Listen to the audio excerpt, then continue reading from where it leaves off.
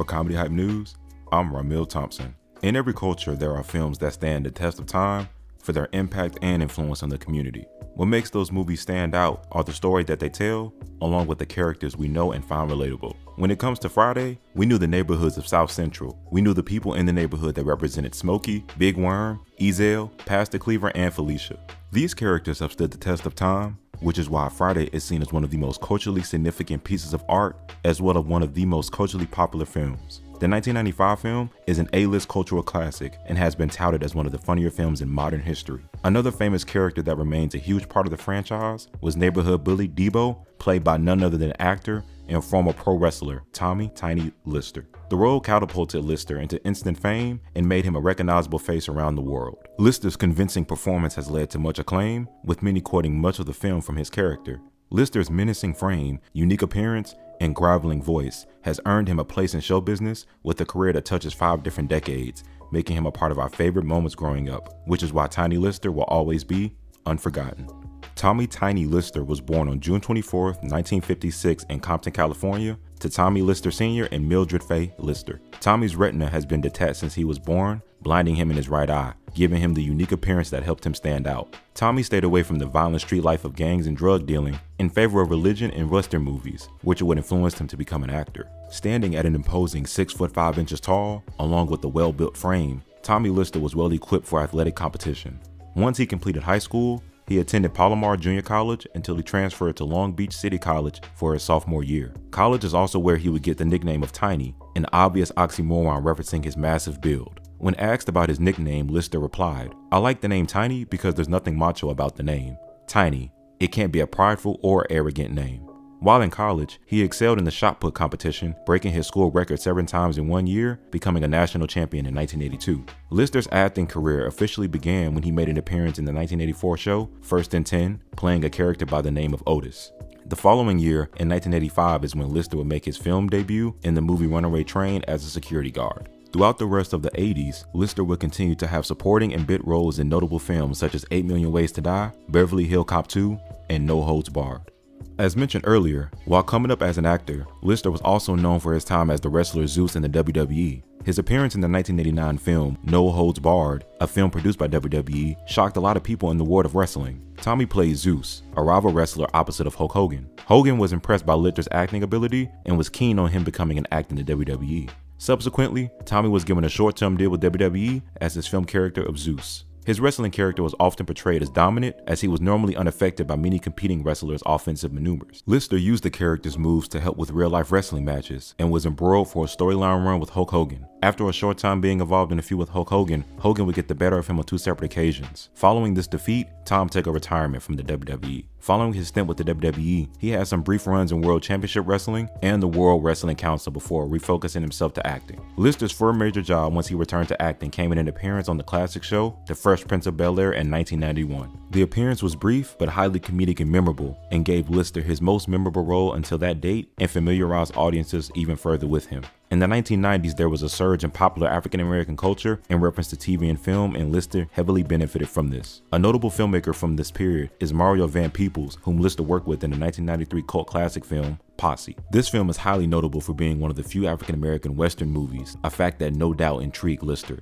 Lister was also excited he got to work with childhood idol Woody Strode on the film as well. The next role Lister took on would be the one that defined his career as an actor and as a public figure, none other than the role of Deebo in the 1990 film Friday. The film is Lister's breakout role and is considered his signature character. The character has gone on to become one of the most popular in the film and solidify Lister's place in Hollywood. In a 2015 interview with Vlad TV, Lister revealed that he doesn't mind still being referred to as Deebo because people like it so much. People want to see that character. I pulled that from Big U. I used him as my background as how I wanted this character to be perceived because the whole thing about how bad this guy was is when Ice Cube put that gun out on him and he said, what you gonna do with that besides make me mad? That was cold blooded. That was it for me. Deebo is Big U. Can't be stopped. In that same interview, Lister said that before filming, he took a look at the cast and he and Cube knew that the movie was going to be something special. Friday spawned a sequel in which Lister reprised his role as Deebo looking to get revenge on Craig. He does not appear in the third film of the series. In that same interview, he was asked why he isn't in Friday After Next. Lister responded, You gotta ask Ice Cube that question.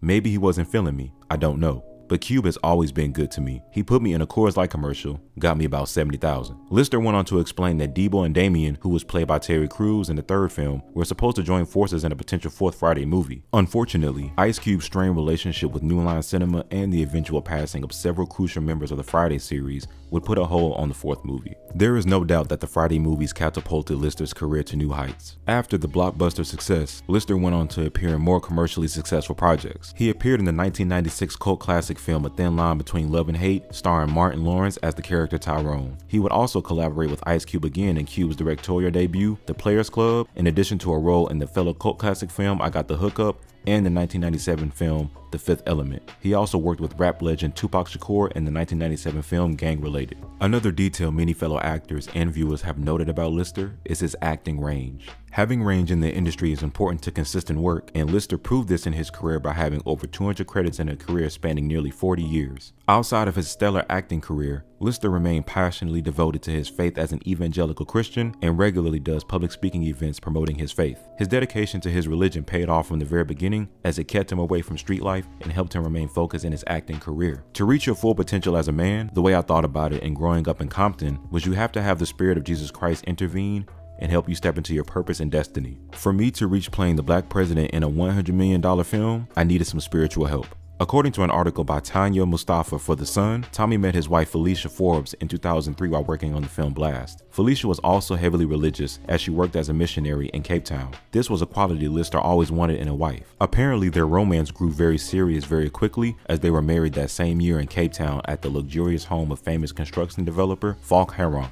The union produced Lister's only known child, a daughter named Faith Grace Lister. The couple's marriage began to get rocky in the last two years of Lister's life. According to the aforementioned Sun article, in 2019, a video altercation between the two went viral in which Lister claimed he had an outside girlfriend who allegedly recorded the video. Police were involved, but no further charges were dished out, and the parties seemed to have moved on without further conflict. Tommy and Felicia separated, but never divorced. This wouldn't be the only time Tommy was involved with the law, as he pled guilty to conspiracy to commit mortgage fraud in 2012. According to TMZ, Lister admitted he and a few others swindled mortgage loans from banks using falsified documents. An excerpt from the TMZ article states, Lister admitted he and his co-conspirators collected mortgages worth 5.7 million and defaulted on all four, costing the lenders 2.6 million. He also admitted to withdrawing over 1.1 million dollars in loans using the properties as collateral, which he never paid back. All in all, Lister has admitted swindling banks out of 3.8 million dollars. This incident will result in some jail time for Lister. He was let out on bail in 2014. After his release, he then said one of his most famous quotes, What's so cool about our God and our government is that you can make a mistake and they will forgive you if you're just a good person and doing right. His devout belief in his religion seems to be a driving force much of his life and is regularly referenced as what Lister used to get him through tough times. Throughout his life, Lister seemed to have periodic health issues. At age 55, he was officially diagnosed with type 2 diabetes. According to sources, Lister contracted the COVID 19 virus in August of 2020 but overcame it. In December 2020, Lister fell ill again with COVID like symptoms.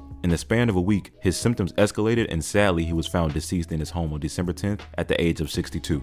Many were shocked and saddened at the sudden passing of Lister, as many grievances and condolences were given. Upon the news of his passing, many celebs expressed warm sentiments for Lister. Ice Cube showed his support for the actor by tweeting the following RIP Tiny Deebo Lister. America's favorite bully was a born entertainer who would pop into character at the drop of a hat, terrifying people on and off camera, followed by a big smile and laugh. Thank you for being a good dude at heart. I miss you already. Months later, his cause of death was revealed to be heart disease. Tommy Tiny Lister was a multi-talented individual and highly diverse actor. His trademark appearance along with imposing size made him a Hollywood favorite for decades. With a 40-year career, it is safe to say that Lister found and served his purpose. He worked with several different entertainment legends across the board, from Quentin Tarantino, Samuel Jackson, and Michael Jackson.